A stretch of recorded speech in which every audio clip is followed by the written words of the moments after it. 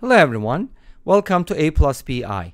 This channel is all about complex numbers and in this video we're going to be solving a rational equation with complex numbers. So z is a complex number, we have z minus i divided by z plus i and that's equal to z over z minus i. So we're going to try to find the complex number that satisfies this type of equation. And I'll be presenting two methods. But let me tell you, if you're new to complex numbers, go ahead and check out my lecture videos. I made a playlist as well as a bunch of other problems that are at different levels. At least one thing you should always know about complex numbers is the fact that i squared equals negative 1. So i is the imaginary unit and it's basically defined as follows i squared equals negative 1 or you can think of it as one of the numbers or one of the square roots of negative 1. Make sense? I say one of the square roots because negative 1 has two square roots. Think about the other one. Great. So let's go ahead and start with the first method. So what is the name of this channel? I hope you do know. It's called Z, not Z, but it's called A plus BI. So I try to use A plus BI in problems, which is kind of fun. Anyways, that's the whole idea. Since z is a complex number, we're going to replace z with a plus bi, where a and b are real numbers. That's the definition of a complex number. And now we're going to plug it in. So what is z minus i? You just need to subtract i from this. That'll give you the imaginary part being changed to b minus 1. And if you add i to both sides, you'll get a plus bi plus 1i.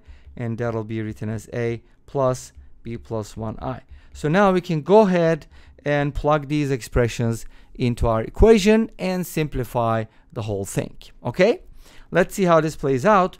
z minus i is going to be a plus the quantity b minus 1i and that'll be divided by z plus i which is the same thing with a plus sign inside the parentheses and that is equal to z which is a plus bi divided by z minus bi which is the numerator on the left hand side okay so far so good are you following now our goal is to solve for a and b. A complex number has two components, a real part and an imaginary part.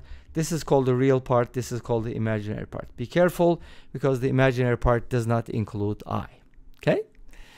And a and b are always real numbers. So even the imaginary part is a real number. So let's go ahead and simplify this by cross multiplying. So we're going to go ahead and multiply like this and multiply like that. So if I go ahead and multiply this by itself, it's actually going to be squared and this one is just going to be distributed. So let's go ahead and write it as a product first. Let's use brackets so it's less confusing because we have parentheses already in our equation. Now we're going to go ahead and distribute. Uh, to distribute the square, we're going to use the formula for x plus y squared. It's going to be x squared plus y squared, but i squared is just going to bring a minus sign and then plus 2a multiplied by b minus 1 multiplied by i. That'll be our imaginary part. And on the right hand side, we have a times a, which is a squared.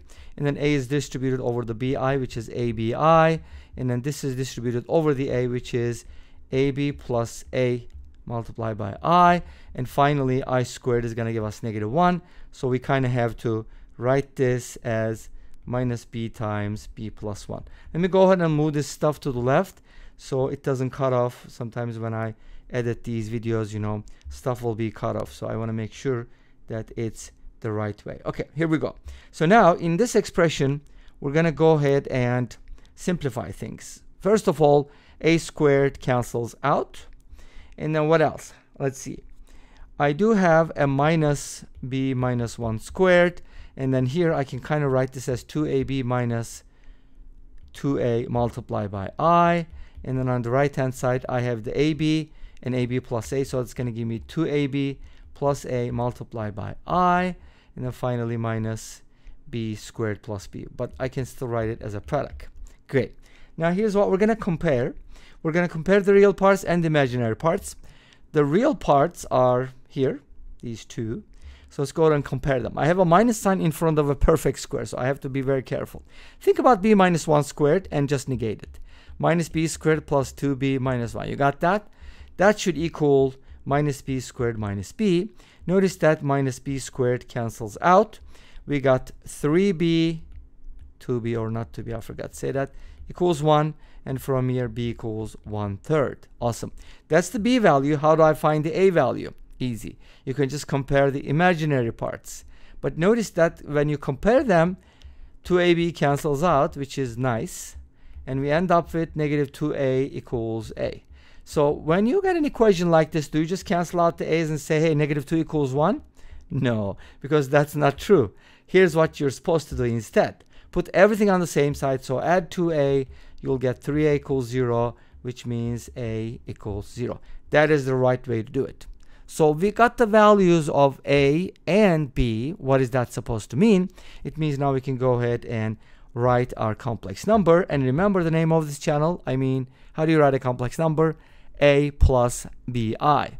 So since a is 0, this is going to be like 0 plus 1 over 3 multiplied by i.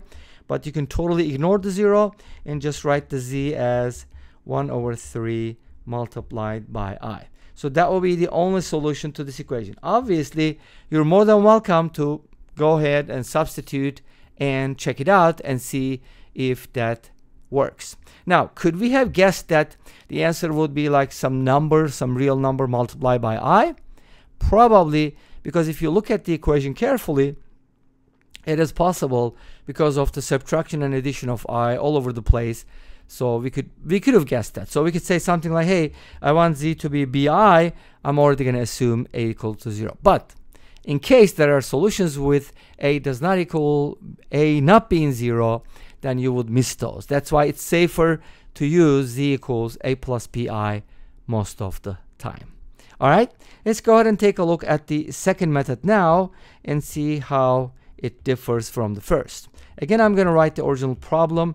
z minus i divided by z plus i is equal to z over z minus i. What am I going to do with for my second method? I don't need to replace z with a plus bi. I'm just going to multiply. So this is going to be z minus i squared equals z plus i multiplied by z. Let's go ahead and distribute. If you expand the second power, it's going to be z squared plus i squared, which is minus 1 minus 2iz. On the right hand side, when you distribute, you're going to get z squared plus iz. And now we can kind of simplify z squared, which makes this a linear equation, which makes it a lot easier to solve. Bring the negative 2iz here, make it 3iz. Great. Let's go ahead and bring it and make it 3iz. And we're going to have negative 1 on the left. Uh-oh, we're getting a negative answer. Let's find out.